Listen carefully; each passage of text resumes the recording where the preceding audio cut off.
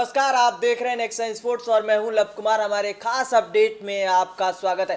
भारत और ऑस्ट्रेलिया का पहला वनडे मुकाबला हैदराबाद के राजीव गांधी इंटरनेशनल स्टेडियम में खेला जा रहा है और यहाँ पे भारतीय टीम दो सौ सैंतीस रनों के लक्ष्य का पीछा करी है, लेकिन लगातार एक एक करके यहाँ पे विकेट गिरते जा रहे हैं और भारतीय टीम अंठानवे रनों के स्कोर पर ही अपने चार विकेट गंवा चुकी है। एक बार फिर हम टॉप ऑर्डर पे लगातार भरोसा जताते आ रहे हैं कि अगर टॉप ऑर्डर हमारा चला तो हम मैच निकाल सकते हैं, लेकिन मिडिल ऑर्डर से भरोसा नहीं है। और वो आज एक बार फिर से देखने को मिला, शिखर धवन ज़ीरो रन पे आउट हुए सिर्फ़ पहली गेंद पे शिखर धवन आउट हो गए दूसरे ओवर की पहली गेंद पे शिखर धवन आउट हुए। उसके बाद रोहित शर्मा और विराट कोहली के बीच में यहाँ पे एक अच्छी पार्टनरशिप देखने को मिली। विराट कोहली जब टीम इंडिया का स्कोर अस्सी रन था, वहाँ पर आउट हुए। उसके बाद पंचानवे रन पे रोहित शर्मा आउट हुए। जब टीम इंडिया का स्कोर पंचानवे रन था, तब रोहित शर्मा आउट हुए। सैंतीस रन बनाकर रोहित शर्मा आउट हो गए। लेकिन उसके बाद अंबती रायडू से बहुत ज़्यादा उम्मीदें थी। महेंद्र सिंह धोनी से बहुत ज़्यादा उम्मीदें अभी भी हैं। महेंद्र सिंह धोनी बल्लेबाजी कर रहे हैं। लेकिन अंबती रायडू यहाँ पे जो चौथे नंबर के लिए सबसे उपयुक्त माने जा रहे थे, अभी तक के मान के हम चल रहे थे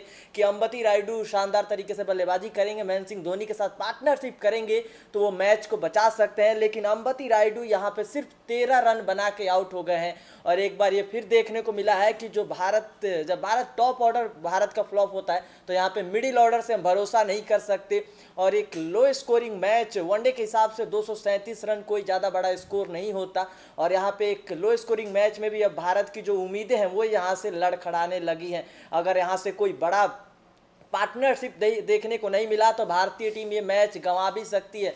आपको बता दें कि लगातार भारतीय टीम को ऑस्ट्रेलिया के खिलाफ हार का सामना करना पड़ रहा है। पहले हमने दो टी ट्वेंटी मैच देखे वहाँ भी भारतीय टीम कि पहले मैच में बल्लेबाजी की कमी थी, दूसरे मैच में ऑस्ट्रेलिया ने बेहतर प्रदर्शन किया और वो सीरीज़ जीत गए टी ट्वेंटी सीरीज़। उसके बाद हमें उम्मीद थी कि भारत पहले वनडे मैच में वापसी करेगी, जीत के साथ वापसी करेगी, लेकिन यहाँ पे एक बार फिर से भारतीय टीम लड़खड़ा गई है और इसकी जो सबसे बड़ी वजह है, ये वही है कि यहाँ पे जो मिडिल ऑर्डर है, इस पर हम भरोसा नहीं जता सकते। भारत की जो सबसे बड़ी कमज़ोरी है, वो यहाँ पे अब वो है मिडिल ऑर्डर, जो ताकत है वो हमारी कमज़ोरी बनते जा रही है। अगर टॉप ऑर्डर जिस दिन अच्छे से बल्लेबाजी नहीं करता है टॉप ऑर्डर नहीं चलता है तो हम मिडिल ऑर्डर पे भरोसा नहीं कर सकते। ये साफ़ कर दिया अंबती रायडू ने लगातार, जो अब अंबती रायडू को हम यहाँ पे लेके चल रहे हैं कि ये वर्ल्ड कप टीम के हिस्सा होंगे। विराट कोहली भी लगातार बात करें कि चौथे नंबर पर अंबती रायडू सबसे परफेक्ट है, लेकिन इस तरीके से अंबती रायडू बल्लेबाजी करेंगे। सिर्फ़ तेरह रनों पर आउट हो गए।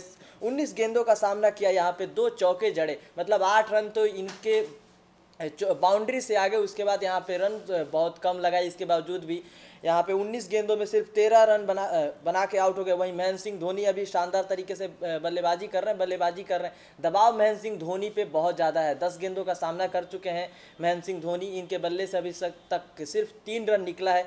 वहीं केदार जाधव अब बल्लेबाजी करने आए हैं। यहाँ पर तीन गेंदों का सामना किया है। केदार जाधव ने एक रन बना के खेल रहे हैं। एडम जाम्पा ऑस्ट्रेलिया के तरफ़ से अभी तक के सबसे बेहतरीन गेंदबाज उभर कर सामने आए हैं। वे एडम जाम्पा ने ही विराट कोहली का विकेट निकाला एल आउट किया विराट कोहली को। पहले तो अंपायर ने नॉट आउट दे दिया, लेकिन ऑस्ट्रेलिया ने डीआरएस लेने का फैसला किया और डीआरएस में विराट कोहली वहाँ पे आउट हो गए और पवेलियन वापस लौट गए। उसके बाद कैच आउट हो गए रोहित शर्मा और यहाँ पे अम्ब अम्बती रायडू का विकेट भी एडम जाम्पा नहीं लिया है। नाथन कुल्टर नाइल दो विकेट अभी तक निकाल चुके हैं। शिखर धवन का विकेट उन्होंने निकाला था, उसके बाद रोहित शर्मा का भी विकेट उन्होंने ही निकाला। दोनों कैच आउट हुए थे।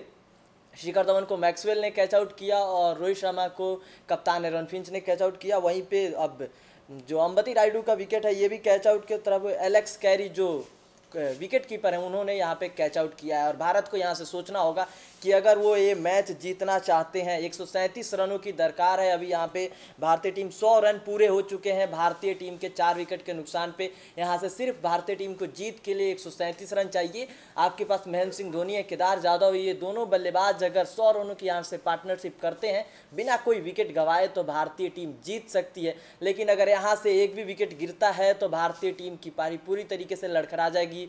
विजय शंकर पे ज़्यादा भरोसा नहीं कर सकते, क्योंकि उनके पास उतना एक्सपीरियंस भी नहीं है और भारतीय टीम अपना पहला वनडे मुकाबला भी यहाँ पे हार जाएगी। ज़ाहिर सी बात है, भारतीय टीम हारना तो नहीं चाहेगी, लेकिन यहाँ पे बल्लेबाजी और मिडिल ऑर्डर को जो टेस्ट होना है, ये अब हो जाएगा। लेकिन अम्बती रायडू ने एक बार फिर से निराश किया है फैंस को भी और क्रिकेट के जो दिग्गज हैं, उनको भी निराश किया है। जो चौथे नंबर पर हम मान के चल रहे थे कि अम्बती रायडू वर्ल्ड कप के लिए परफेक्ट है, एक बार फिर से सवाल खड़ा हो गया है कि आखिर चौथे नंबर पर कौन सा वो खिलाड़ी होगा जो वर्ल्ड कप में भारतीय टीम को जीत दिलाएगा। तो इंडिया ऑस्ट्रेलिया के अपडेट्स के लिए आप हमारे नेक्स्ट स्पोर्ट्स को सब्सक्राइब कर ले। फ़िलहाल इस अपडेट में इतना ही। नमस्कार।